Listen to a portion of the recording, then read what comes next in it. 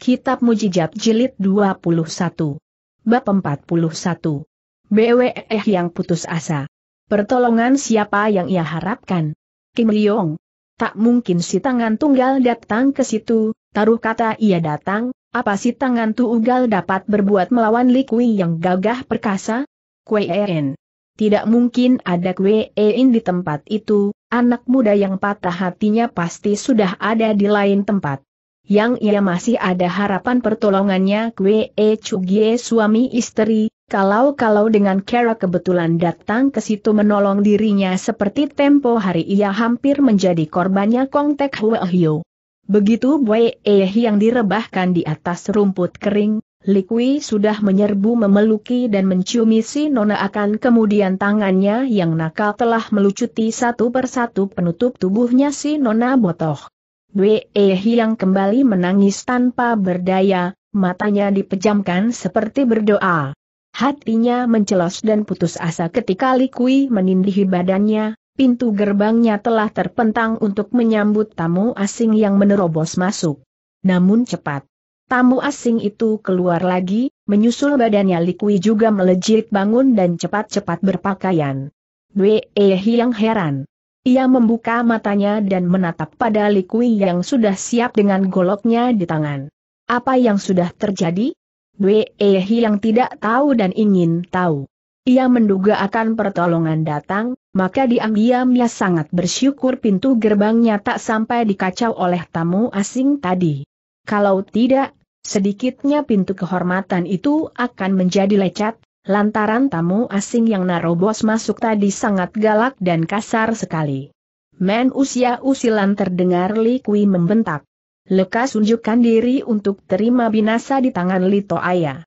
Apa yang telah terjadi? Kiranya, ketika Li Kui sedang nafsunya hendak mengerjai Bue E Hiang yang tidak berdaya, tiba-tiba ada batu kecil telah membentur sikutnya hingga ia jadi kaget dan urungkan niatnya yang buas. Ia mengira akan datangnya musuh maka cepat-cepat ia telah mengenakan pakaiannya pula. Sekarang ia menantang dengan golok di tangan, tapi orang yang ditantang tidak kelihatan mata hidungnya. Kembali Likui bergembor, manusia ina. Lekas unjukkan diri, jangan sampai tuan besarmu mencarinya dan akan membunuh kau menjadi perkedel. Kembali tidak ada jawaban.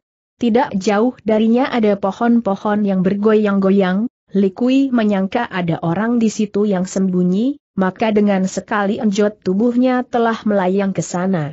Goloknya yang tajam luar biasa dipakai membabat, tapi tidak ada orangnya.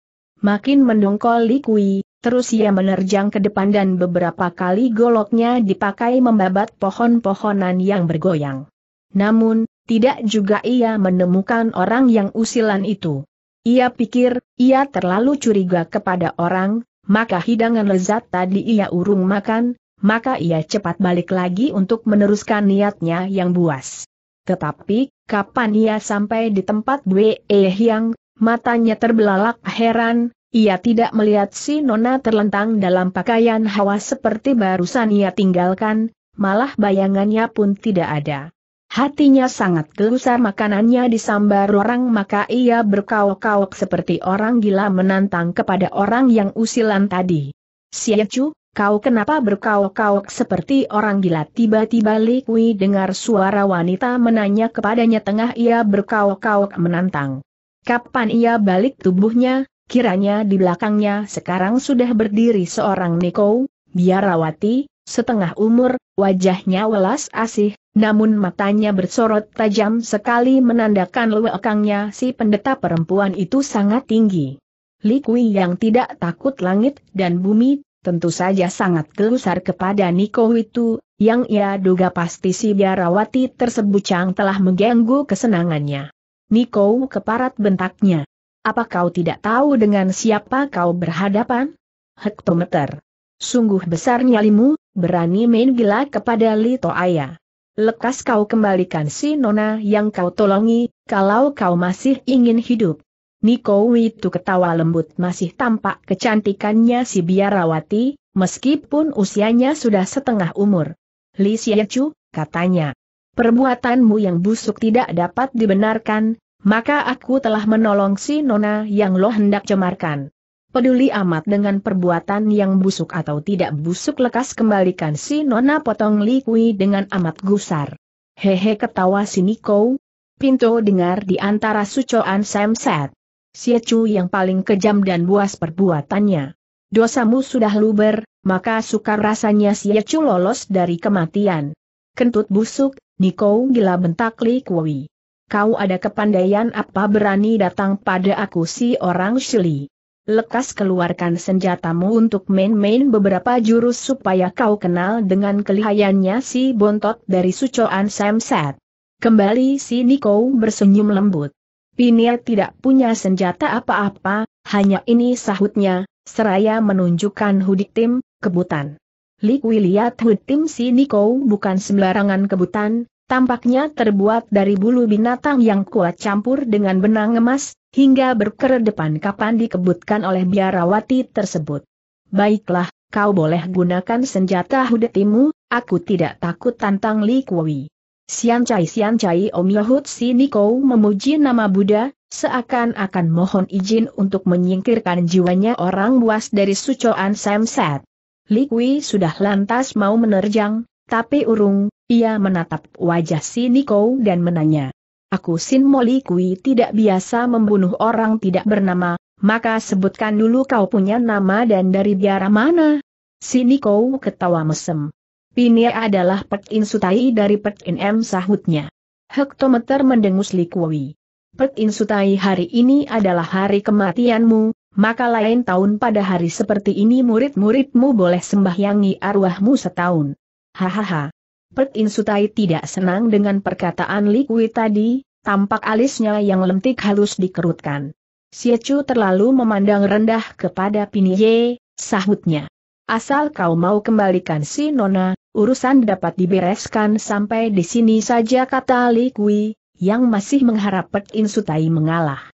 Si Nona hanya dapat kembali pada Chu, manakala Chu bisa kalahkan Pinye berkata Pek Insutai yang tidak senang atas sikap sombong dari si muka hitam. Baik, awas golok seru Likui, menyusul ia menyerang pinggang Pet In Sutai. Serangan hebat dan cepat sekali, tapi Pet In Sutai dengan seenaknya saja telah berkelit dengan apungkan badannya. Likui merangsek, kembali goloknya bekerja, kali ini tidak menyabet, hanya ditusukkan pada dada si biarawati. Cepat Pek In Sutai egoskan dirinya, dari samping ia balas menyerang dengan kebutannya yang mengeluarkan suara angin menderu. Kaget Likui melihat serangan membalas si Niko demikian hebatnya.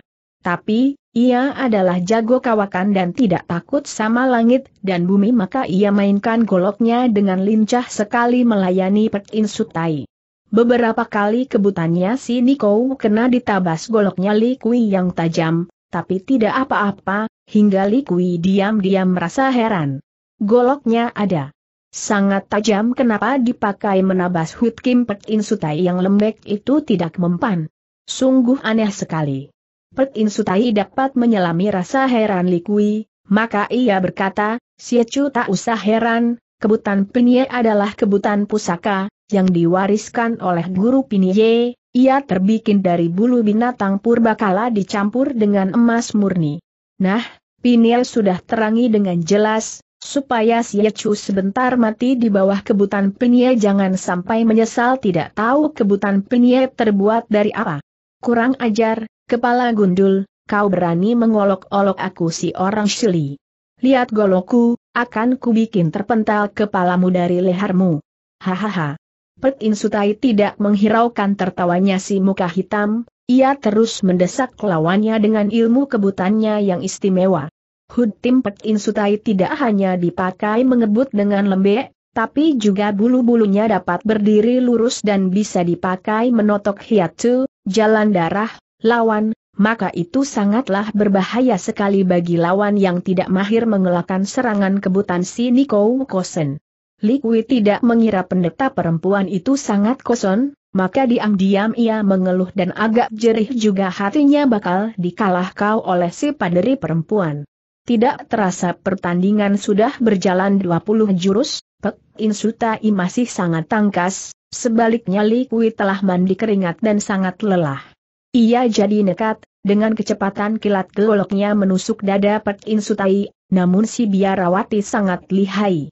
Begitu golok sampai, ia gunakan kebutannya dipakai melibat, kemudian dengan satu tarikan enteng, cukup bikin golok Likui terlepas dari cekalannya.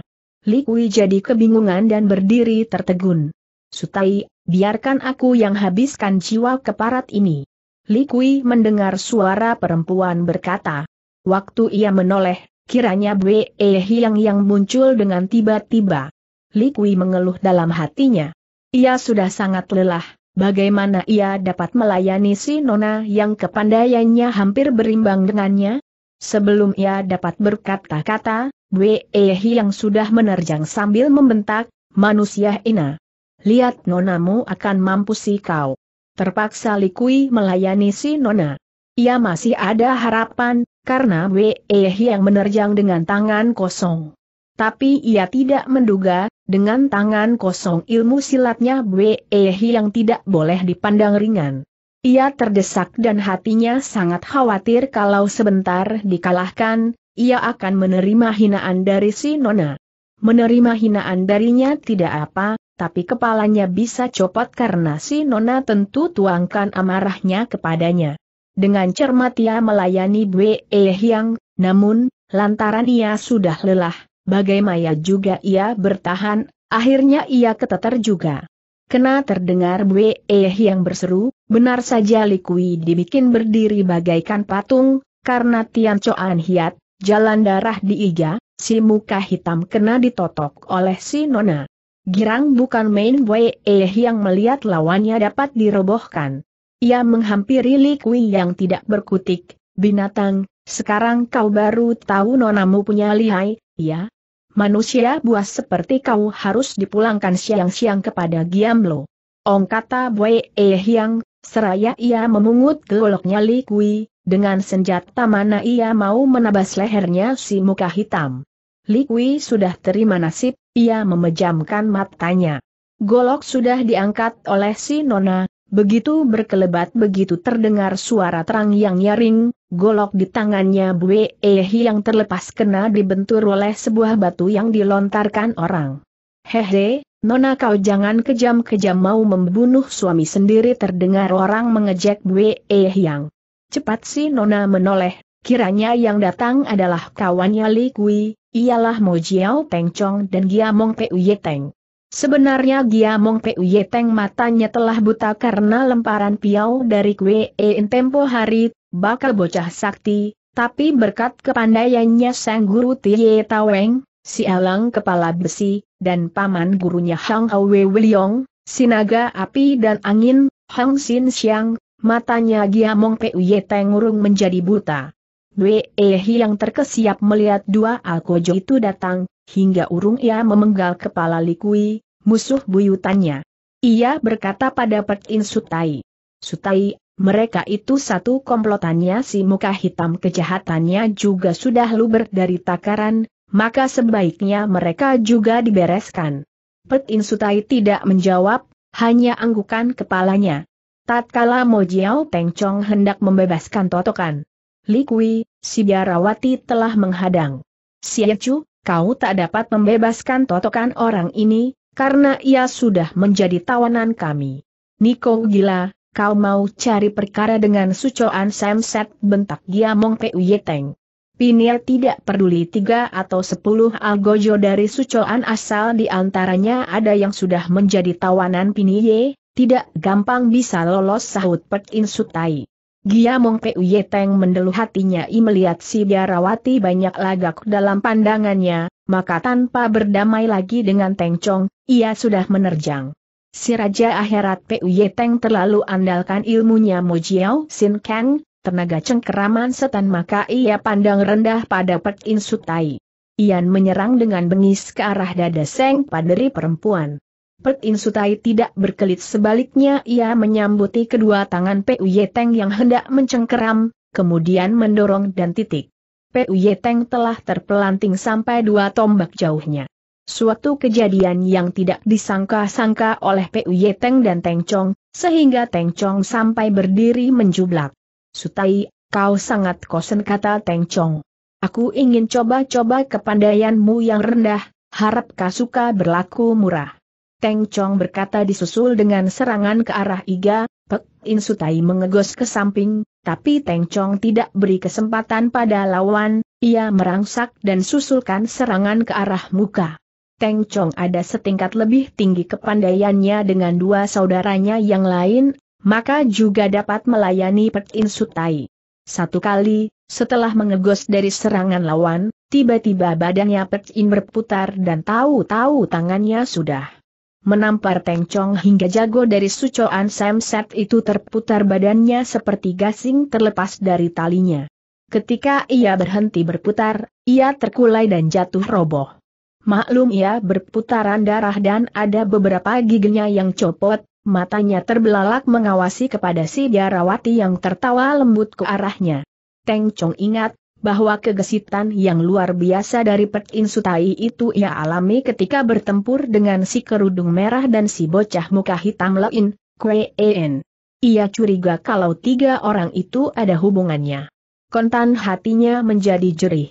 Dwe yang sendiri keheran-heranan Pek In Sutai dengan mudahnya saja dapat menjatuhkan dua musuh, sedang barusan ia, Pek In Sutai, harus melayani Likui sampai 20 jurus.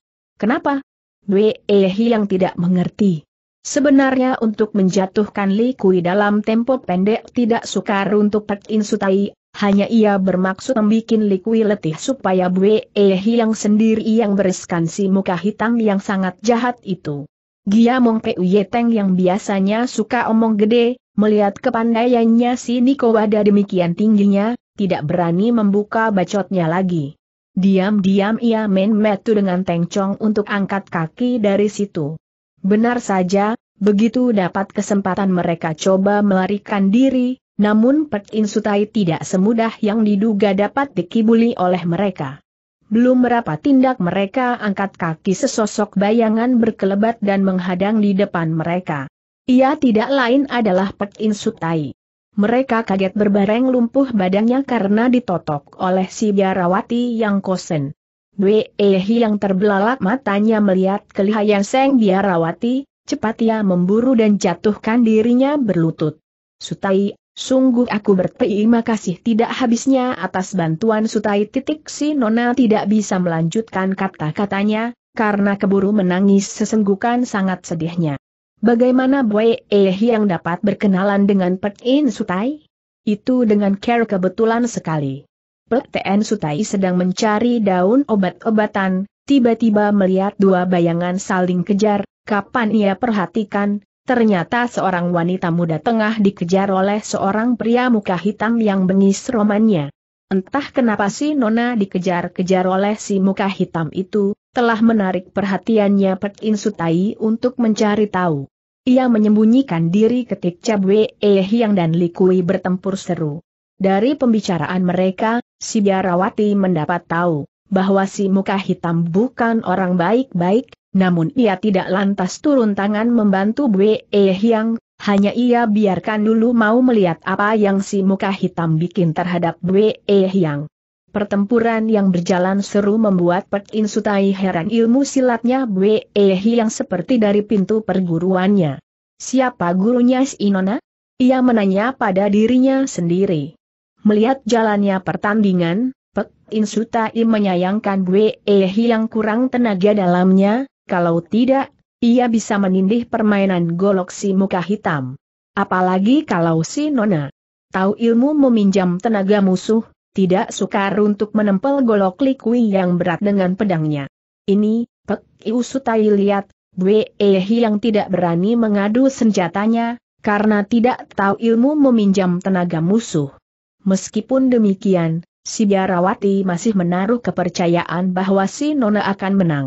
Tetapi tidak tahu Bwe yang terlalu bernapsu ingin menjatuhkan lawannya, sehingga ia membuat kesalahan dan pedangnya kena dibentur terbang oleh Likwi. Pada saat ia tidak berjaga-jaga telah kena ditotok dan dipondong ke tempat sunyi oleh Likwi. Pek Insutai tahu si muka hitam hendak berbuat tidak baik terhadap si Nona, maka ia terus menguntit. Saking sebatnya Likui bekerja, hampir-hampir saja Pek Insutai terlambat menolongi si Nona yang tidak berdaya melindungi kehormatannya. Dengan sebuah batu kecil, Pek In kasih peringatan pada Likui, yang segera urungkan maksudnya dan berpakaian pula. Ia pancing Likui menjauh isi Nona, Kemudian ia tolong Wei Hyang dan disuruh lekas berpakaian. Pek Insutai tidak kasih kesempatan Wei Hyang mengucapkan terima kasih, ia suruh Sin Ona lekas sembunyi ketika melihat Li Kui kembali lagi. Baru Wei Hyang tahu si Niko gelarnya Pek In, awan putih, ketika ditanyi oleh Li Kui. Ia tidak kenal Niko Kosen itu, karena ia baru saja ceburkan diri dalam dunia Kang Sebenarnya nama biarawati yang gagah perkasa itu sudah lama terkenal di dalam bulim, rimba persilatan, lantaran kepandaiannya yang sangat tinggi. Orang segan berurusan dengan Pek Insuta yang adatnya rada-rada aneh ialah ramah tamah dan hormat kalau ia sedang senang hatinya. Sebaliknya kata-katanya menjadi ketus dan menusuk hati mana kalau hatinya sedang tidak senang. Dengan air mata bercucuran, Sambil berlutut Bwe yang telah menuturkan kekejiannya Sucoan Samset melakukan pembunuhan massal di markas cabang Cheng Jipang dan di rumahnya sendiri kecuali ia, Bwe yang seluruh keluarganya mati di tangan Sucoan Samset. Bwe yang menuturkan juga sedikit perihal pertolongan si kerudung merah yang mengusir Sucoan Samset. Begini juga dengan Kue yang membuat Sucoan Samset lari terbirik-birit. Pek In Sabtai angguk-anggukan kepalanya. Eh, Nona Hiang, tiba-tiba Pek In Sutai berkata. Aku lihat ilmu silatmu bagus sekali, siapa yang ajarmu? Adik kecil yang ajariku, sahut si Nona. Siapa itu adik kecil? Kue Ein yang terkenal dengan julukannya Hek Bin Sintong. Heh. Hek Bin Sintong tanya Pek In Niko kaget. Ya, adik in julukannya Hek Bin Sintong, menegaskan Bwe Hyang. Nona Hyang, kita bisa bicara banyak tentang Hek Bin Sintong, sekarang kita tunda dulu dan bagaimana kau akan memutuskan urusannya tiga penjahat itu berkata Pek In Sutai Israya menunjuk kepada Sucoan Samsat. Menurut keinginanku, dengan tanganku sendiri aku membunuh mereka barulah sakit hati sekeluargaku yang dibinasakan olehnya terlampias. Mohon Sutai suka memberi izin kepadaku untuk melakukannya itu, kembali Eh yang menangis. Pek In Sutai kasihan kepada si Nona. Terserah kepada keputusanmu, Nona Hiang, kata Pek In Sutai seraya angguk-anggukan kepalanya. Eh yang girang sekali mendapat izin dari Seng Biarawati untuk membunuh Sucoan Samset, maka yang pertama sekali ia hampiri adalah si muka hitam Likwi. Ia hadapi Likwi dengan penuh kegusaran, namun, tidak urung mukanya merah jengah mengingat belum lama ia telah diciumi dan dipale pergi datang, bukan itu saja, benda Likwi yang istimewa telah menerobosi pintu terlarangnya. Manusia hina, akhirnya nonamu dapat melaksanakan pembalasan untuk keganasan terhadap seluruh keluargaku yang kau telah binasakan berkata Boy Eh yang, seraya memungut goloknya Likwi yang tajam si muka hitam ketakutan. Tidak biasanya ia unjuk rasa takut menghadapi perkara apa juga, namun saat jiwanya tak dapat ditolong pula bakal melayang di bawah tangannya si Nona. Ingin ia mengatakan apa-apa kepada Hwee yang, cuma saja ia tidak dapat berkata-kata karena totokan Hwee yang tadi. Si Nona juga tidak mau kasih kesempatan kepada si muka hitam, khawatir ada kejadian lagi yang tidak terduga dan Likui lolos dari tangannya. Maka, dengan sekali berkelebat golok Likui telah makan leher tuannya, kepalanya segera menggelinding jatuh dan darah segar menyembur keluar seperti pancuran dari lehernya Likui. Sungguh mengerikan kejadian itu, namun, Bwe Ehi yang tidak merasa ngeri, malah ia ketawa cekikikan seperti orang gila telah melampiaskan sakit hatinya. Korban kedua si Nona hampir giamong Peuyeteng, padanya ia tidak banyak omong, sekali tabas kembali satu kepala. Menggelinding terlepas dari tempatnya. Lalu Bwe yang menghampiri Mo Jiao Peng Chong yang romannya pucat ketakutan. Mungkin kau tidak sejahat Li Kui namun, karena kau adalah komplotan dari Sucoan Samset, sedang kalau aku ampuni juga, kau hanya akan membawa malapetaka, maka maafkan aku kirim rohmu untuk menyusul dua saudaramu yang sudah jalan lebih dahulu tanda seru menyusul goloknya berkelebat dan kembali kepala manusia menggelinding jatuh. Puas hatinya Bwe yang sampai ia berjingkrakan seperti anak kecil. Pembalasan kepada Sucoan Sam Satya telah tunaikan, tak usah jauh-jauh ia pergi ke Sucoan mencari mereka, di sini ia sudah dapat melampiaskan sakit hatinya. Ia tidak menduga sama sekali kalau pembalasan terhadap tiga alkojo dari Sucoan itu ada sangat mudah dilakukan dengan pertolongannya Pet Insutai sendiri saja. Mula-mula ia ingin pergi ke Sucoan dengan diantar oleh Kwe Ein, Kim Wan Tauto, Eng Lian dan Leng Xiong. Sekarang, ia tak usah menerima budi dari mereka, sebab ia sudah lakukan pembalasan dengan bantuannya Pet In Sutai seorang. Oleh karenanya, ia sangat berterima kasih kepada si Biarawati yang kosen itu. Ia lalu jatuhkan dirinya pula berlutut di depan Pet In Sutai mengucapkan terima kasihnya. Aku tidak tahu dengan apa aku harus mengucapkan perasaan terima kasihku yang sangat besar kepada Sutai, kata Bwe Yang. Maka aku mohon, Sutai suka menerima aku menjadi muridmu dan aku berjanji siang malam akan merawati Sutai dengan penuh kasih. Cuma saja. Eh yang tidak bisa melanjutkan perkataan, karena merasa ragu-ragu untuk menuturkan. Cuma saja kenapa, Nona Hiang tanya Pet Insutai ketawa.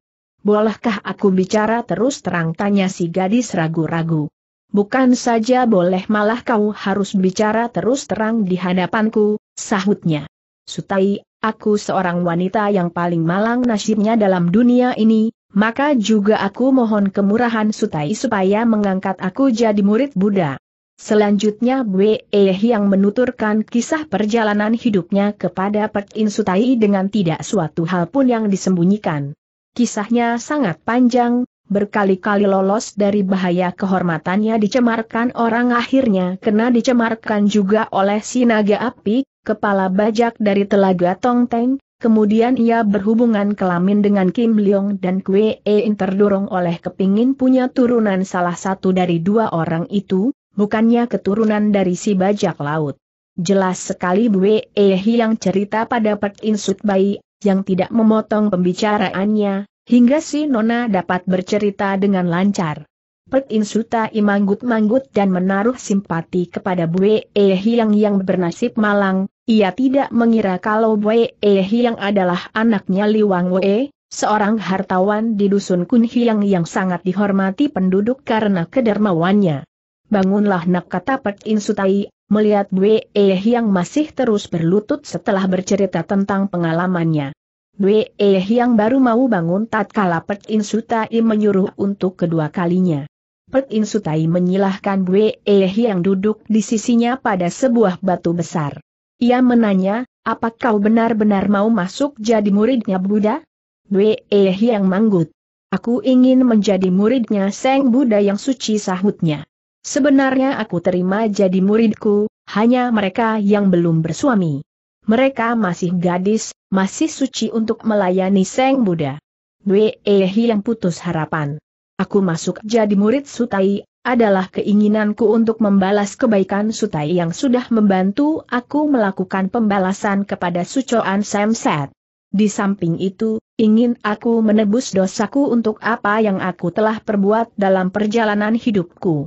Bagus, niatmu sangat besar, kalau tidak disalurkan mungkin kau akan menyesal selama hidupmu, ini aku tidak mau melihatnya.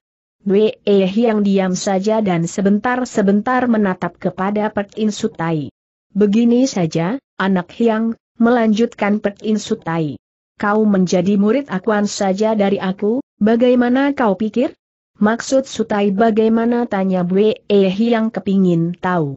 Maksudku tak usah dengan resmi melakukan upacara mengangkat guru padaku dan kau berkumpul dengan lain-lain muridku. Kau membangun kuil sendiri, di sana kau boleh bersujud dan setempo aku datang melongokan ke sana. Sekedar pasang ngomong dan kalau perlu aku akan didik kau lebih lanjut dalam ilmu silat. Wei yang girang mendengar perkataan Pek In Sutai. Terima kasih, katanya. Asal aku sering-sering dapat bertemu dengan Sutai, hatiku sudah merasa senang, apalagi kalau aku ada punya rezeki untuk menerima pelajaran yang sangat tinggi dari Sutai. Pet In Sutai pun girang si Nona setuju dengan usulnya. Lalu dirundingkan tentang pembuatan satu kuil sederhana. Wei yang adalah seorang kaya, untuk membangun sebuah kuil sederhana sangatlah mudahnya baginya untuk ia menggunakan uangnya. Demikianlah, setelah mereka berunding Wei yang pamitan dari Pek In Sutai untuk pulang ke Kunhiang berdamai dengan pamannya. Dalam perundingan di antara Bue Yang dan Pek In Sutai telah disetujui kalau kuil yang Bue yang bakal dirikap letaknya di Pek Inia juga, tidak jauh dari kuilnya Pek In Sutai berdiri, ialah Pek In En.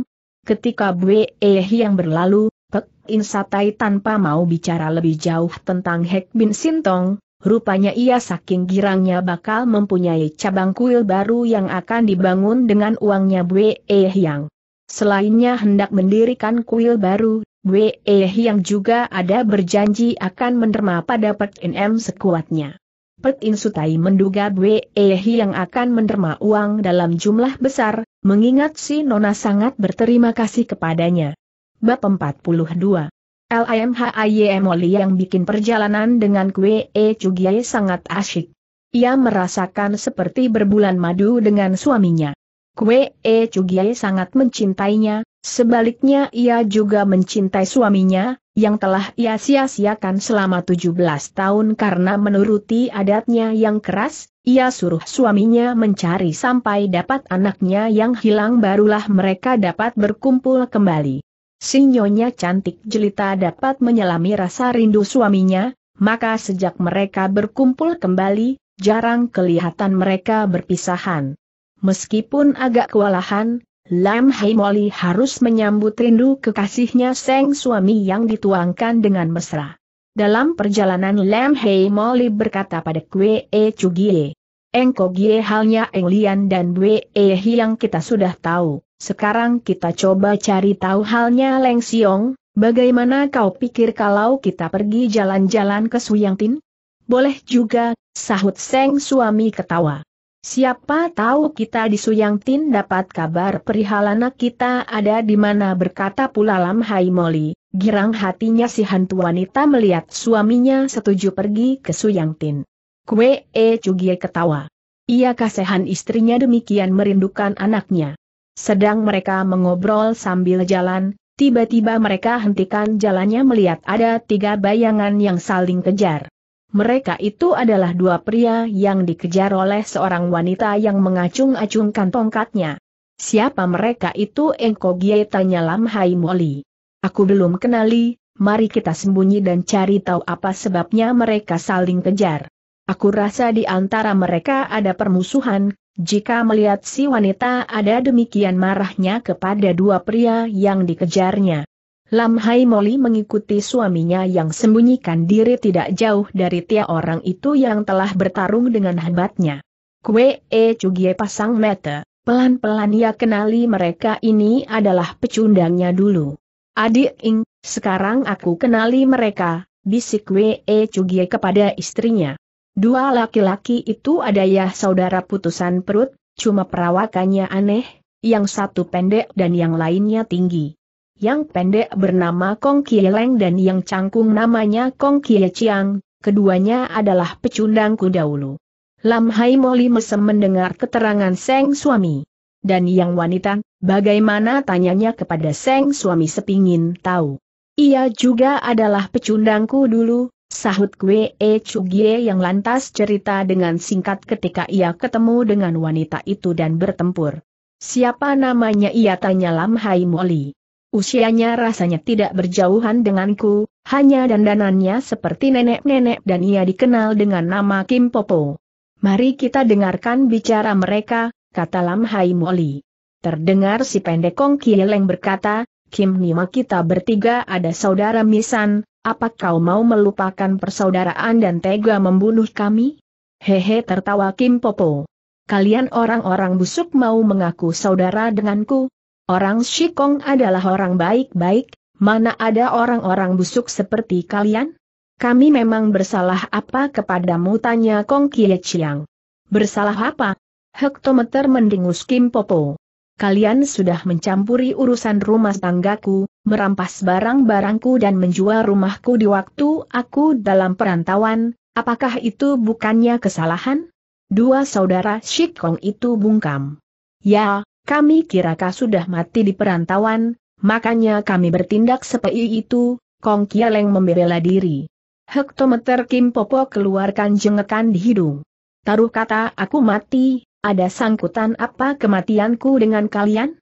Kenapa kalian rampas barang-barangku dan menjual rumahku? Kembali dua saudara Shikong itu membisu. Dulu, si juga aku tidak kasih ampun. Ia mati di bawah jarum mautku, karena membandel perintahku untuk menyerahkan buku ilmu menotok jalan darah. Ya, ya, aku ingat, menolong Kong Kieleng. Engkol yang memang punya tiam hiat pitkoat, buku ilmu menotok jalan darah, ia sangat sayang pada buku itu yang ia telah ketemukan entah di mana ia ada berkata, buku itu akan diserahkan kepada Kwe E sebagai tanda terima kasih, Kwe E Chugie telah menolongi iparnya dari tangannya orang jahat. Selainnya itu, ia ada berkata, buku tersebut ada tepat di tangannya Kwe E Chugie, seorang pendekar besar pada zaman ini. Hektometer. Kwe E Chugie tanda seru mendengus Kim Popo, Kenapa ia sudah serahkan kepada itu manusia yang bernama Liok Sinshe? Buku itu telah terjatuh di tangannya Liok Sinshe. Kami tidak tahu urusan itu, kata Kong Kiai Leng. Mungkin engkol yang sangat berterima kasih kepada Liok Sinshe makanya ia telah menyerahkan buku itu padanya. Memang si orang Shiliok telah menolonginya, tapi, terlambat karena jarum mautku yang mengandung racun telah merengut jiwanya, kata Kim Popo bangga. Kenapa kau tidak merebut pulang Tiam Hiat Pit Koat dari si orang Shiliok tanya Kong Kie Chiang, yang dari tadi diam saja.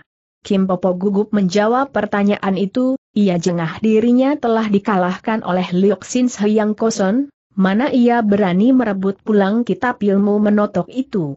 Liok Sin tinggi ilmunya, aku dikalahkan olehnya, Kim Popo mengaku dengan wajar. Meskipun adatnya angin-anginan, Kim Popo wataknya polos. Kue E Chugie sekarang baru terang duduk perkara tentang si orang Shikong yang sangat menghargai dirinya, Kue E Chugie, ketika hendak menutup mata, telah menyerahkan Tiam Hiat Pitkoat kepadanya yang saat itu ia dikenal sebagai Liok Sinshe. Kong Kia Liang merasa terima kasih lantaran iparnya ditolong dari cengkeraman orang-orang jahat. Orang-orang jahat itu sebenarnya adalah Kieleng dan Kie Chiang yang hendak memperkosa iparnya Seng To aku. Untung ada Kwe E Chugie, di mana mereka telah bertempur dan dikalahkan oleh si orang Shi Kwe E. Seng ipar yang hendak diperkosa bisa tutup rahasia ia mengatakan orang jahat itu telah diusir oleh Kwe E Chugie Tai Hiap, ia tidak mengatakan bahwa orang-orang jahat itu adalah Kieleng dan Kie Chiang. Lantaran bentrokan itu, Kieleng dan Kie Chiang menaruh dendam kepada Kwe E Chugie dan di M2 dia mencari jalan untuk menuntut balas. Kwe E Chugie dan Lam Hai Moli mendengarkan terus mereka bicara. Liok Sin ada demikian lihai, aku rasa ia tentu Kwe E Chugie, terdengar pula Kim Popo membuka mulut bicara. Kwe E Chugie boleh lihai, tapi untuk mencari anaknya saja tidak becus nyeletuk Kong Kieci yang seraya tertawa gelak-gelak. Eh, kau apakan anaknya tanya Kim Popo heran.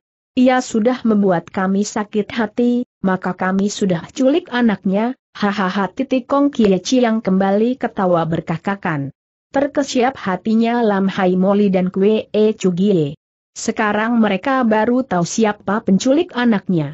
Menuruti hatinya, Lam Hai Moli sudah ingin keluar dari tempat ia sembunyi dan menarik keluar jantungnya dua orang Shikong itu yang membuat mereka menderita 17 tahun lamanya, namun Kwe E Chugie yang jauh lebih sabar dari istrinya telah mencegah.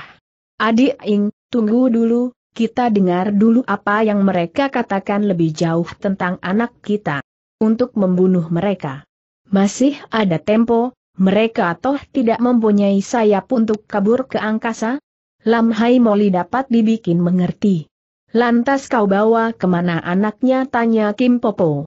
Kami juga tidak bodoh, kalau anaknya ada pada kami terang Kwe E Chugie akan mencekuk batang leher kami. Maka, begitu ada kesempatan, kami telah serahkan anak itu kepada wanita jembel yang barusan saja kematian anaknya. Entahlah, sekarang anak itu ada di mana? Sebab, sejak kami serahkan anak itu kepada si wanita jembel, ia telah menghilang entah ke mana tahu. Kami tidak memikirkan tentang menghilangnya si wanita jembel, sebab sudah tidak ada kepentingan pula dengan kami. Hahaha demikian Kong Kieci yang telah menutur dengan bangga. Kau harus membalas kepada Kwe E Chugie, kata Kim Popo. Kenapa kau membalas kepada anaknya yang tidak berdosa? Kasihan tentu anak itu hidup terlantar di bawah asuhannya perempuan jembel. Menculik anaknya, sama juga kami membalas kepada Kwe E Cugie pribadi, sebab dengan hilang anaknya, rumah tangganya berantakan, istrinya meninggalkannya, entah ke mana dan Kwe E Cugie hidupnya seperti kehilangan semangat. Apa ini tidak bagus, daripada kita membalas dengan kekerasan yang belum tentu kita menang? Hahaha. Tanda seru sekarang Kong Kieleng tertawa bergelak-gelak. Panas hatinya Lam Hai Moli mendengar penuturan tersebut. Engkogie mari kita keluar dan mampusi dua manusia jahat itu bisik Seng istri. Tunggu dulu Kwe E Chugie menahan istrinya. Ini membuktikan kalian ada sangat jahat mencela Kim Popo. Maka kalian mana dapat lolos dari kematian di tanganku? Orang-orang jahat seperti kalian untuk apa dikasih tinggal lama-lama dalam dunia?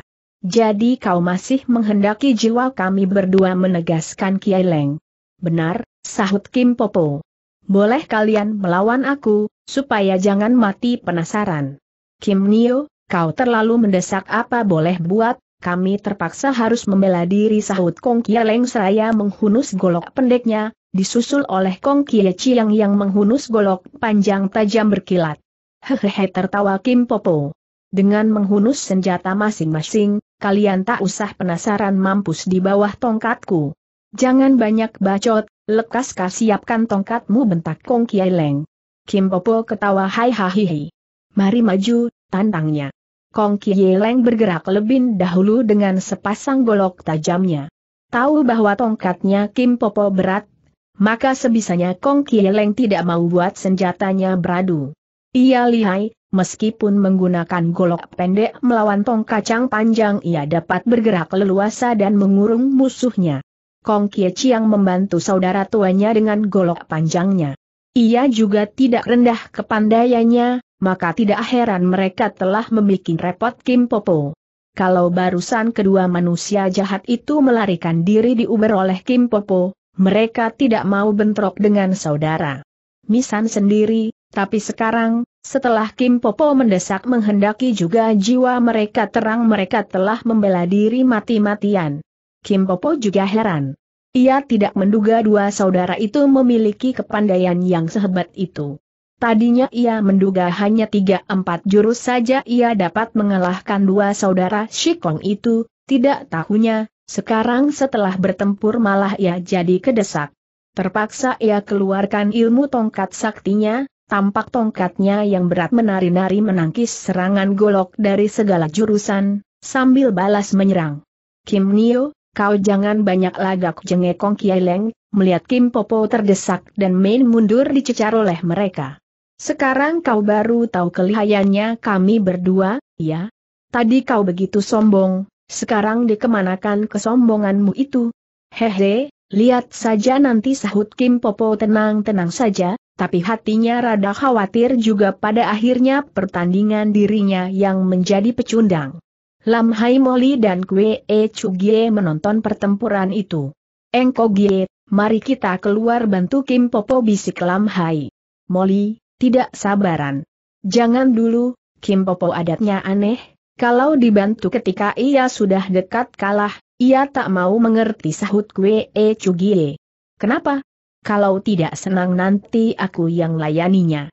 Adik Ing, kau suka bawa adatmu yang keras, tunggu sebentar lagi.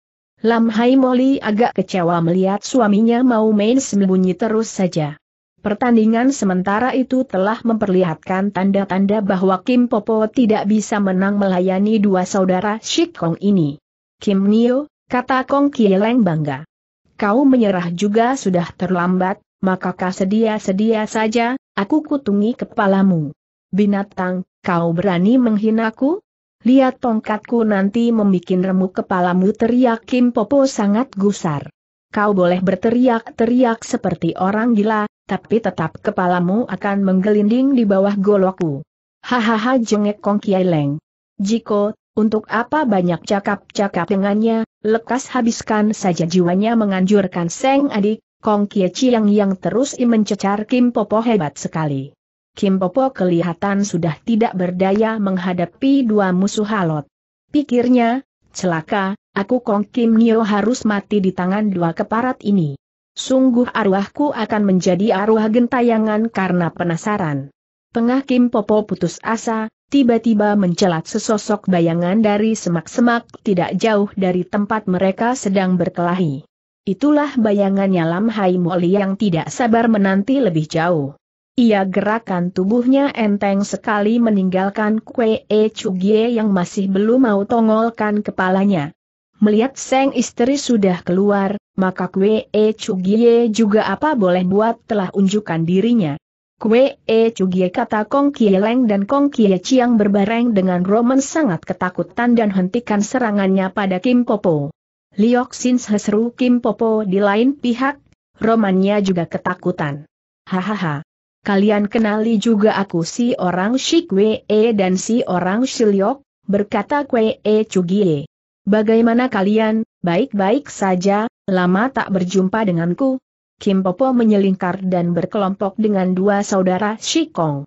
Mereka jadi satu, rupanya permusuhan mereka ditunda dahulu untuk menghadapi Kwe E Chugie yang muncul dengan seorang wanita cantik. Meskipun hatinya ketakutan Kue E Chugie, diam-diam dua orang Shikong itu ada perhatikan dirinya Lam Hai Moli yang cantik jelita.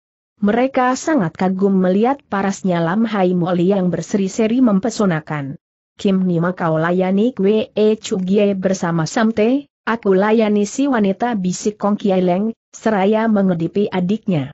Kong Kie yang tahu maksud dari engkonya yang matu keranjang, ia hanya mendengus dan menghadapi Kue E Chugie bersama Kim Popo. Kong Kieleng telah menghampiri Lam Hai Moli sambil cengar-cengir ketawa. Kau yang telah menculik anakku tanya si nyonya jelita dengan suara empuk. Suara Lam Hai Moli seperti musik mengiang di telinganya, tidak heran kalau si pendek menjadi gugut dan menjawab. Oh, anakmu itu. Aku tidak sengaja telah menculiknya, harap nona jangan marah. Lam Hai Moli bersenyum manis. Si Kate Kong Kieleng menduga Lam Hai Moli naksir padanya mukanya ketawa mesem, hatinya jadi berani. Ia kata, Nona, kalau yang diculik kepada kami adalah anak Nona, pasti kami mencarinya kembali sampai dapat.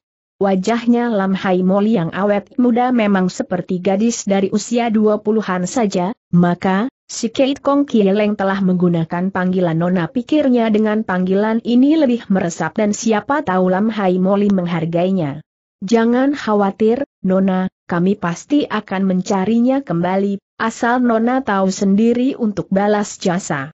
Berkata pula Kong Kieleng dengan kelakuan ceriwis.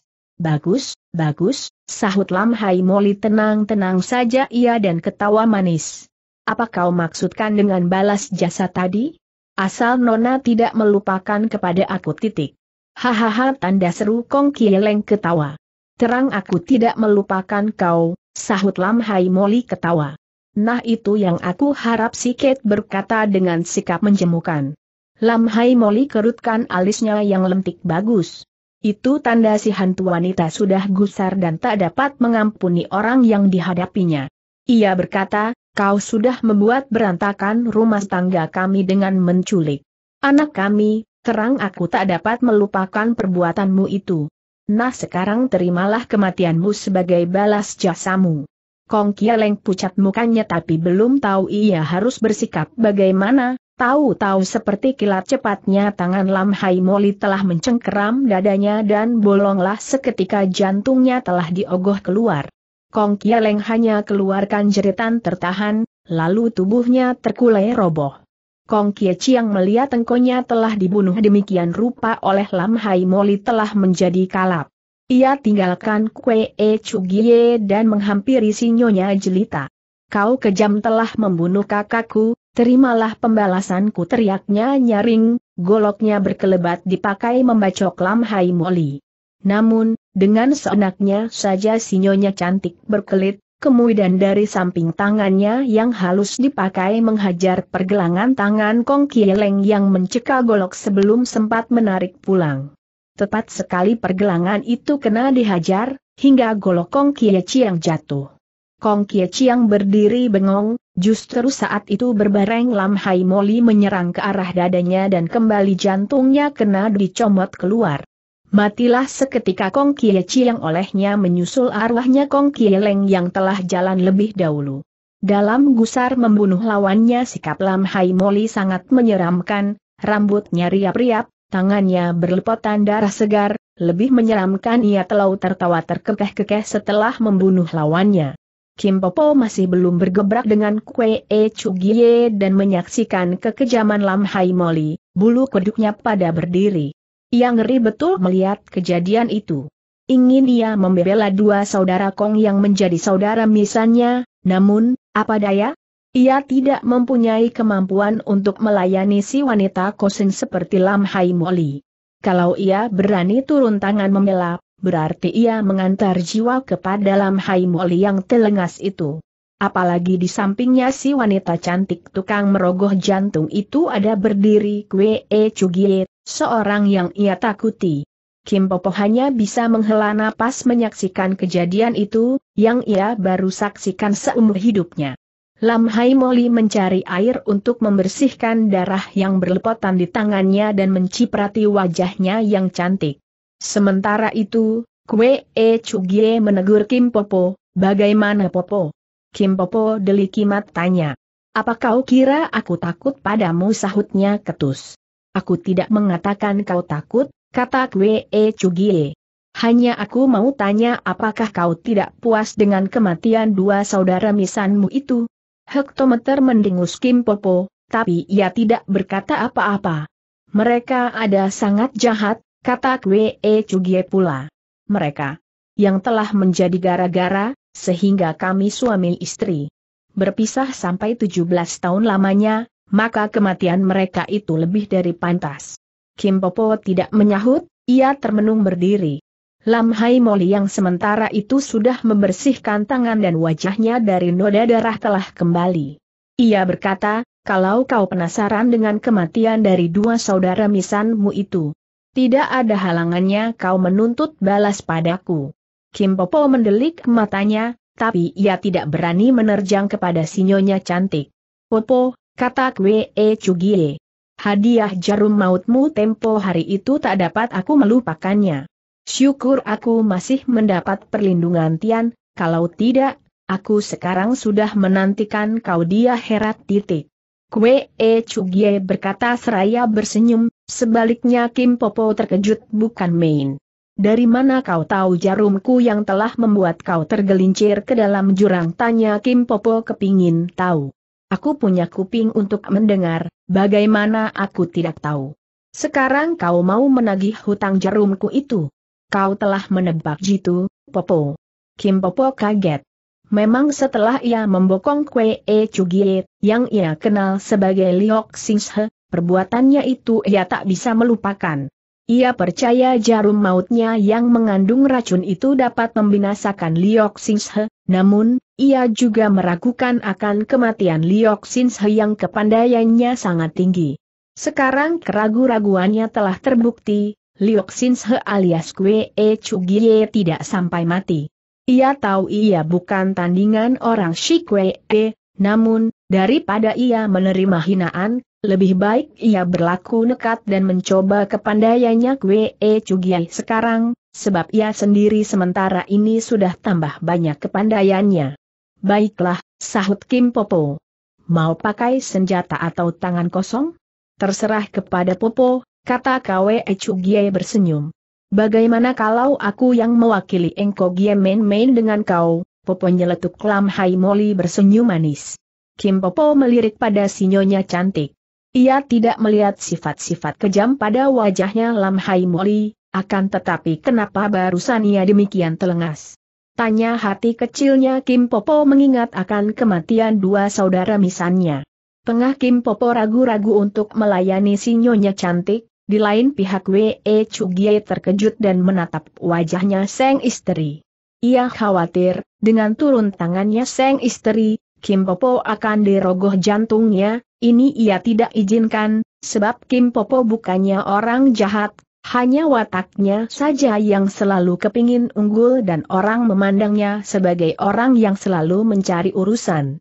Bab 43 LIMHIM Oli paham akan tatapan suaminya maka ia bersenyum manis dan matanya dikedipkan, hal mana membuat hatinya suami menjadi lega, dengan senyuman manis dibarengi dengan kedipan mata, tandanya Lam Hai Moli tidak akan mempersulit lawannya dengan kematian.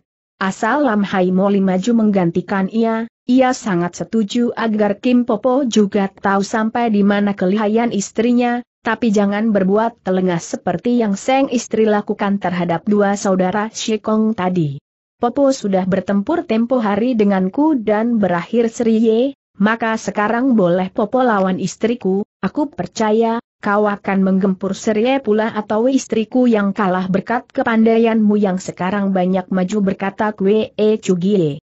Senang hatinya Kim Popo mendengar perkataan Kwe E Chugie, yang mengatakan pertempuran tempo hari dengannya berakhir serie, sebenarnya ia yang pecundang dan lari terhirit-birit.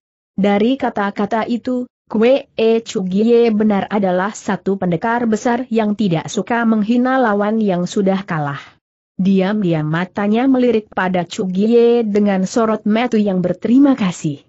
Kue E Chugie hanya bersenyum saja. Baiklah, aku akan coba-coba kepandaian istrimu sahut Kim Popo. Untuk main-main saja tak usah menggunakan senjata, nyeletuk Kue E Chugie. Sukanya aku hanya mengiringi saja, kata Kim Popo. Lam Hai Moli bersenyum. Mari kita mulai tantangnya berdiri seenaknya saja, tidak pakai memasang besi, kuda-kuda, segala. Kim Popo tidak senang, karena sikapnya Lam Hai Moli itu dianggap memandang rendah kepadanya, tapi ia tidak tahu memang bila kebiasaan Lam Hai Moli menghadapi musuh bagaimana tangguh juga, tidak pernah pasang kuda-kuda. Tidak pakai tawar-menawar pula, serangan telah dibuka oleh Kim Popo terlebih dahulu mengarah hidung orang yang bangir. Lam Hai Moli hanya goyangi sedikit kepalanya, serangan Kim Popo jatuh di tempat kosong, Kim Popo tidak sampai di situ saja, melihat serangannya gagal, cepat ia rubah tipunya dan sekarang menyerang lambung orang dengan cengkeraman maut. Lam Hai Moli putar tubuhnya berkelit, dari samping ia balas menyerang sebelum Kim Popo perbaiki posisinya. Kim Popo gugup melihat cepatnya serangan balasan dari Lam Hai Moli, cepat jatuhkan diri tergulingan. Serangan. Lam Hai Moli luput, tapi si nenek bandel rambutnya menjadi riap-riap oleh karenanya. Lam Hai Moli merangsek dan mengirim serangan ke bagian dada dengan tangan kanan, sedang yang kirinya nyelonong hendak mencomot lentera Kim Popo. Tentu saja si orang tua kaget. Tidak keburu ia berkelit, terpaksa ia menyambut kedua tangan si nyonya cantik yang halus, tapi keras bagaikan baja ketika melakukan serangan. Mereka jadi saling dorong menggunakan luekang. Lam Hai Moli tenang-tenang saja wajahnya menyungging senyuman manis. Sebaliknya dengan Kim Popo, wajahnya sangat tegang. Ia rasakan ia kalah luekang dari si nyonya cantik, makanya juga wajahnya menjadi tegang. Belum tahu bagaimana kesudahannya mengadu luekang itu, Kim Popo tiba-tiba kaget mendengar Lam Hai Moli membentak, pergilah. Berbareng tubuhnya Kim Popo terbang melayang dan jatuh kira-kira dua tombak jauhnya. Luakang Lam Hai Moli dahsyat, begitu dikerahkan telah menerjang dan mendorong tubuh Kim Popo terbang sampai demikian jauhnya. Kue E Cugie ketawa menyeringai, sementara di sana Kim Popo repot merangkak bangun lagi. Meskipun sangat bandel, kali ini Kim Popo merasa bahwa Lam Hai Moli telah berubah hati kepadanya, kalau tidak, didorong terbang oleh tenaga luakang yang dahsyat, demikian jauhnya terang ia akan mendapat luka J dalam paling sedikit kalau tidak sampai binasa. Ia mengawasi dengan mata, terbelalak ke arah Lam Hai Moli yang balas memandang dengan senyuman manis dan mempesonakan. Sungguh cantik ia tanda seru menggumam Kim Popo. Meskipun ia mengguman pelan, tapi cukup tegas kedengaran oleh Lam Hai Moli dan Kwe E Chugie yang pendengarannya sangat tajam. Suami istri itu menghampiri Kim Popo yang berdiri tertegun. Popo, kata Lam Hai Moli mendahului Kwe E Chugie berkata, maafkan untuk kesembronoanku barusan, sehingga membuat Popo jadi kaget. Oh, tidak, tidak, memang aku harus mampus tidak mengenali seorang pendekar wanita yang hebat lekangnya, sahut Kim Popo dengan wajar, hingga Kwe E Chugie senang melihat sikap Kim Popo yang tidak bermusuhan. Lam Hai Moli bersenyum manis mendengar jawaban si nenek bandel. Kwe E Tai Hiap, kau punya istri muda dan cantik, Siapa namanya tanya Kim Popo ketawa kepada Kwe E Chugie. Popo, kau keliru memandang orang istriku tidak semudah yang Popo duga, sahut Kwe E Chugie ketawa. Memang berapa usianya si Nona tanya Kim Popo heran. Sudah hampir 40 tahun? Hah Kim Popo kaget. Kwe E Tai Hiap, kau jangan mendusai aku, paling-paling juga umurnya si Nona 24 tahun, Sungguh ia sangat cantik. Popo, kau masih segar begini, nyeletuk Lam Hai Moli. Paling juga beda dua tiga tahun dengan engko gaya usianya, kenapa kau lebih suka dipanggil Popo oleh kami, orang yang usianya hampir berimbang? Apakah tidak lebih baik kami panggil Enci kepadamu? Kim Popo ketawa ngikik. Entah bagaimana, kata Kim Popo. Sejak wajahku rusak kena hawa racun, aku jadi benci pada setiap orang dan adatku menjadi angin-anginan. Aku suruh orang-orang yang kenal aku supaya memanggil aku Popo, tidak peduli umurnya berimbang dengan umurku. Heran aku merasa lebih tua dari yang lain-lainnya. Lam Hai Moli bersenyum. Bagaimana kalau aku sekarang memanggil Enci Kim? Tanya si nyonya cantik sambil menatap pada Kim Popo. Eh, Nama nona siapa Kim Popo balik menanya, aku Sisie nama Lan Ing, sahut Lam Hai Moli. Aku tidak keberatan dipanggil Enci, cuma saja rada janggal karena keputusanku itu, semua orang kecil besar harus panggil aku Popo. Dipanggil Enci oleh istriku, Popo boleh merasa bangga, nyeletuk W.E. Cugie. Bangganya Kim Popo menanya kepingin tahu. Sebab istriku di kalangan Kang Ou dikenal dengan julukannya Lam Hai Moli. Sang istri deliki suaminya yang ketawa ngakak, sementara Kim Popo sangat terkejut. Matanya menatap kepada Lam Hai Moli dengan mulut terbuka. Adik Ing, katanya dengan suara agak gemetar. Apa kau benar Lam Hai Moli? Sinyonya cantik memanggutkan kepalanya bersenyum. Ah, aku tidak nyana di sini aku ketemu dengan Lam Hai Moli, kata Kim Popo. Tadinya aku kira Lam Hai Moliang. Sangat tersohor itu wajahnya jelek macam setan, rambutnya riap-riap menakutkan dan giginya bercaling, sebab dikatakan oleh tokoh-tokoh silat, Lam Hai Moli ada sangat ganas kalau memperlakukan musuhnya tidak taunya wanita hantu dari Lam Hai itu ada begini cantik ah benar-benar adik Ing, aku tidak nyana sama sekali. Kim Popo berkata sambil mencekal tangannya si nyonya cantik dan digenggamnya rat-rat. Adik Ing aku senang kau panggil aku Enci, aku jadi punya adik Lam Hai Moli yang sangat dibuat takut oleh kalangan Kang Ou. Hai Hiwi. Lucu lagak Nia Kim Popo pada saat itu. Biasanya ia paling tidak memandang matu kepada siapa juga tapi sekarang berhadapan dengan Lam Hai Moli seolah-olah nyalinya ciut dan kegirangan ia dapat bersahabat dengan wanita kosen itu. Dalam pembicaraan lebih jauh, ternyata Kim Popo usianya baru 51 tahun, Kwe E Chugie 48 tahun dan Lam Hai Moli 38 tahun, Kacek 10 tahun dengan suaminya. Kwe E Chugie selanjutnya memanggil Enci kepada Kim Popo sebaliknya Kim Popo memanggil adik Gie. Tengah mereka gembira bercakap-cakap tiba-tiba Kim Popo kerutkan alisnya. Kue e tai hiap, eh, adik Gie, bagaimana dengan permusuhan kita? Bukankah kau hendak menagih jarum mautku itu kata Kim Popo wajahnya mendadak lesu. Enci Kim, kau jangan sebut-sebut lagi hal itu, sejak barusan kita mengikat persahabatan, aku sudah hapuskan sakit hatiku itu. Hahaha. Kue E Gie berkakakan ketawa. Adik Gie, benar-benar kau adalah satu tai hiap yang budiman memuji Kim Popo bangga. Lam Hai Moli ketawa melihat suaminya dapat melenyapkan permusuhan. Sekalipun Kim Popo bandel dan adatnya angin-anginan, wataknya polos dan jujur, maka Lam Hai Moli sangat suka padanya. Juga Kue E Gie memandang Kim Popo dari sudut yang diambil oleh istrinya. Ia anggap Kim Popo tidak jahat, cuma wataknya yang kepingin unggul saja membuat orang salah anggapan terhadapnya. Bagaimana kalau kita angkat saudara tiba-tiba Lam Hai Moli tanya Kim Popo? Ah, adik Ing, kau jangan berkelakar, tidak bisa jadi, kata Kim Popo. Kenapa tidak bisa jadi tanya Lam Hai Moli? Aku perempuan tua tidak punya guna, mana ada harganya menjadi saudaramu. Kue E Cugie ketawa terbahak-bahak.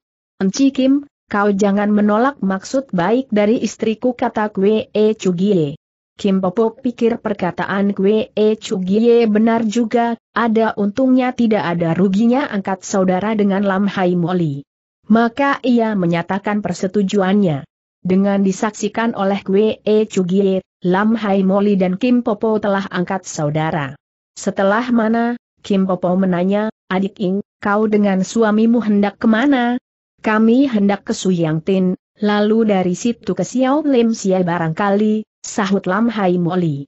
Ada sesuatu yang hendak kami damaikan dengan kepala gereja. Urusan apa itu? Apa encimu boleh dapat tahu tanya Kim Popo. Oh, tentu saja, jawab Lam Hai Moli. Kami ke Suyang Tin hendak mencari tahu tentang anak kami, Siang ke Xiaowim Xie hendak mendamaikan urusan anak kami. Memangnya anak adik Ing ada belajar di Xiao Lim? Oh, bukan, anak kami tidak belajar di Xiao Lim Xie, akan tetapi secara tidak langsung ia boleh dikata murid Xiao Lim Xie juga, karena ia belajar dari Et Sin Keng, kitab mujizat karangan Kong In Sin Jin. Eh, nanti dulu, potong Kim Popo. Anak adik Ing bukannya Hek Bin Sintong? Ya, tidak salah memang itu julukannya dikala wajahnya masih hitam. Tiba-tiba saja Kim Popo tertawa terkekeh-kekeh, hingga Lam Hai Moli dan suaminya menjadi haran. Eh Kim, kenapa kau tertawa demikian enaknya tanya Lam Hai Moli heran. Adik Ing, aku tertawakan diriku sendiri. Anakmu itu benar-benar lihai dan nakal, Beberapa kali aku dipecundangi sampai tidak ada jalan untuk melarikan diri. Ai, kalau dipikir, tidak dinyana sekarang aku bisa angkat saudara dengan mamanya. Titik. Atas permintaan Lam Hai Moli dan Kwe E Chugie, Kim Popo telah menuturkan kisahnya mulai bertemu di Tong Hang Ge dengan Lo In, Kwe E In, kemudian bertempur di Suyang Tin, lalu di lembah Tong Hang Ge. Kim Popo menutur secara lucu sekali, hingga Lam Hai Moli dan Kue E Cugie ketawa terbahak-bahak. Lam Hai Moli minta maaf atas kelakuan anaknya yang nakal itu. Mana bisa anak ini disalahkan, sahut Kim Popo, kalau anak ini tidak sampai membunuh aku saja sudah bagus.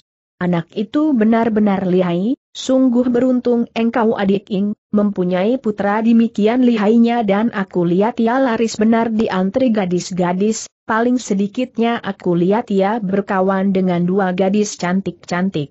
Apa mereka sekarang sudah menikah dengan anak in, dua gadis itu sungguh tepat dijadikan istrinya. Kim Popo hentikan bicaranya melihat tiba-tiba saja Lam Hai Molit telah mengeluarkan air mati menangis. Hei, adik Ing, kenapa kau menangis tanyanya heran. Aku menangisi nasibnya anakku, Enci Kim, sahut Lam Hai Moli lalu menuturkan nasib jelek dari anaknya, dua gadisnya lolos menjadi makanan orang dan satu gadisnya pula belum ketentuan nasibnya bagaimana. Di antara tiga gadisnya yang pernah galang gulung dengannya, mungkin tidak ada satu pun yang menjadi jodohnya. Kim Popo turut berduka mendengar penuturan Seng adik baru. Ya, perkara jodoh tak dapat dipaksakan, kita harap saja nanti anak In mendapat jodohnya sendiri baru panyonya mantu yang sayang pada adik In, Kim Popo menghibur. Kue E Chugie juga turut lesu melihat istrinya menangis. Sekarang kau pergi ke Suyang Tin tentu mau cari tahu apakah anak In ada pergi ke sana, bukan berkata pula Kim Popo. Sedang ke Xiao Lim Xie, pasti kau akan mendamaikan urusan Itsin Keng dengan Hang Hui Taisu, Ciang Bunjin dari Xiao Lim Xie. Ya, benar, sahut Lam Hai Moli. Mereka menyangka Itsin Keng ada pada anakku, sedang sebenarnya Itsin Keng masih ada dalam goa, tidak dibawa pulang oleh anakku. Memang sukar untuk kasih mengerti tokoh-tokoh silat itu, bahwa anak In tidak memiliki buku mujizat itu, sebab mereka tahu bahwa anak In telah masuk dan keluar dari goa ular itu dengan seenaknya saja. Seperti aku sendiri, kalau tidak kenal dari dekat sekarang dengan adik In, pasti aku juga tidak percaya kalau anak In tidak memiliki buku tersebut. Urusan memang ruwet, menyelak kue e cugie, tapi sebisa dua kami akan kasih mereka mengerti, kalau kami sudah berdaya dengan sia-sia, apa boleh buat, kami juga tidak akan mundur untuk menghadapi kepala batu mereka yang kami khawatirkan kalau anak in marah, apabila ia marah, kami tidak tahu berapa banyak korban jago silat nanti akan jatuh di tangannya.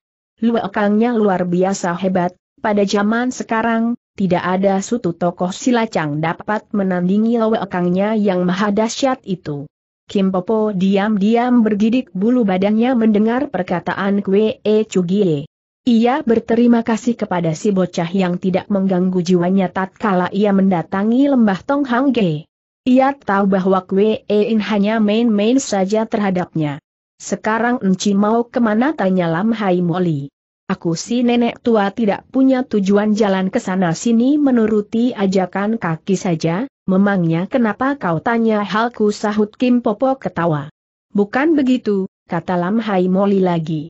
Kami hendak ke Suyang Tin, mungkin terus ke Xiao Lim Xie. Kami belum tentu akan ketemu dengan anak In, maka kalau benci dalam perjalanan umpamanya ketemu dengan anak In tolong sampaikan perjalanan kami kepadanya, supaya ia menyusul kami ke sana. Tentu-tentu Enci akan kabarkan kepada anak In bila ketemu dengan Enci di dalam perjalanan, Kim Popo menyanggupi kepada Lam Hai Moli, untuk mana sinyonya cantik mengucapkan banyak terima kasih. Setelah beres urusannya anak in, kami juga akan kembali ke Coako, maka kalau benci ada tempo, harap datang ke sana kita kumpul-kumpul, mengundang Lam Hai Moli. Tentu, tentu, encimu akan datang ke sana, Kim Popo menyanggupi. Sampai di situ mereka telah berpisahan titik. Kue E Chugie menanya kepada istrinya, adik Ing, Bagaimana pandanganmu terhadap Kim Popo? Kenapa kau begitu murah main angkat saudara saja dengannya? Engko Gie, jawab Lam Hai Moli, Enci Kim sekalipun adatnya aneh, ia adalah seorang jujur dan boleh dipercaya maka aku senang kepadanya. Aku dengan gampang saja telah mengangkat saudara dengannya, lantaran aku perlu dengan pertolongannya. Pertolongan apa yang diharap daripadanya? Pertolongan mencari anak N. Ia banyak jalan ke sana sini pasti, dalam perjalanan ia dapat dengar-dengar tentang di mana adanya anak N. Aku percaya dengan bantuannya kita bisa cepat menemukan anak kita. Adik Ing, kau pandai melihat orang. Memang Encikim tidak jelek wataknya, makanya aku mengampuni kesalahannya. Dengan rapatnya perhubungan kita dengannya, pasti ia banyak menolong dalam kesulitan kita. Lam Hai Moli anggukan kepalanya dan bersenyum manis. Kita sekarang sudah tahu siapa penculik anak kita dan sudah membunuhnya, hatiku rasanya sangat senang, berkata. Lam Hai Moli. Aku tidak menduga bahwa dua orang Shikong itu yang telah menculik anak kita, sebab ketika aku melakukan penyelidikan beberapa kali, aku ketemu dengan mereka, tapi tidak sedikit pun aku menaruh curiga kepadanya. Tentu saja kau tidak curigai mereka, karena anak kita siang-siang sudah dioper kepada wanita jembel yang telah kehilangan anaknya. siapa ya wanita jembel itu yang merawat anak kita? Aku tidak tahu, kalau kita bisa menemukannya baik juga, kita harus membilang banyak terima kasih kepadanya sekalipun anak kita hidup dalam kalangan jembel, tapi ia sudah merawatnya sampai baik. Demikian suami istri itu bercakap-cakap mengenai anaknya, Kwe En. Adik Ing, kau punya coan Sim Chiang hebat sekali dan mengerikan, kata Kwe E Chugie setelah mereka berhenti sesaat bercakap-cakap. Coan Sim Chiang adalah ilmu warisan dari guruku, sahut Lam Hai Moli. Coan Sim Chiang ialah ilmu pukulan menembus jantung, yang telah beberapa kali digunakan oleh Lam Hai Moli untuk merogoh keluar jantung musuhnya. Apa kau tidak suka menggunakan ilmu pukulan lain untuk menjatuhkan lawan, kecuali dengan Coan Sim Chiang tanya Seng suami. Coan Sim Chiang tidak sembarangan aku gunakan, aku baru gunakan terhadap lawan yang aku sangat benci, kenapa, memangnya kau ngeri? Hihihi, ketawa Lam Hai Moli. Ya, aku ngeri, adik Ing, jawab Kwe E Cugie ketawa. Baiklah, selanjutnya aku simpan ilmu pukulan itu, Seng. Istri berjanji. Kwe E Cugie senang dengan janji Seng istri. Pakaianmu ada kecipratan darah, apa tidak perlu tukaran dulu tanya Kwe E Cugie. Aku pikir juga memang baik aku tukaran dulu, sahut Seng istri. Setelah tukaran pakaian, suami istri itu telah melanjutkan perjalanannya. Matahari sementara itu telah doyong ke barat, menandakan bahwa hari sudah menjelang sore. Lam Hai Moli ajak suaminya jalan cepatan, jangan sampai kemalaman di pegunungan. Tak usah kita tergesa-gesa jalan, kalau sampai kemalaman di pegunungan kita dapat tidur di atas pohon, Kue E Chugie menggoda istrinya. Lam Hai Moli monyongkan mulutnya yang mungil. Kau sendiri boleh tidur di atas pohon aku tidak, jawabnya. Kue E Cugie ketawa gelak-gelak. Tolong! Tolong tiba-tiba terdengar teriakan minta tolong dari jauh. Lam Hai Moli dan suaminya kaget mendengar teriakan itu, mereka lantas pasang kuping untuk mengetahui dari sebelah mana datangnya teriakan itu, hampir berbareng suami istri itu telah enjot tubuhnya mencelat ke jurusan sebelah selatan mereka berdiri. Di sana mereka pasang pula telinganya kembali terdengar teriakan, namun kali ini teriakan ada lemah dan terdengarnya sayup-sayup. Suami istri kosen itu telah melakukan penyelidikan dan mereka dapatkan sebuah goa yang gelap di dalamnya. Mereka percaya teriakan minta tolong tadi keluar dari goa tersebut. Mereka saling tukar pandangan. Teriakan minta tolong tadi kedengarannya keluar dari mulutnya seorang perempuan. Bagaimana apakah kita masuk saja tanya Lam Hai Moli kepada suaminya. Keadaan ada sangat celap, apa tidak takut kita kena jebakan sahut Seng suami.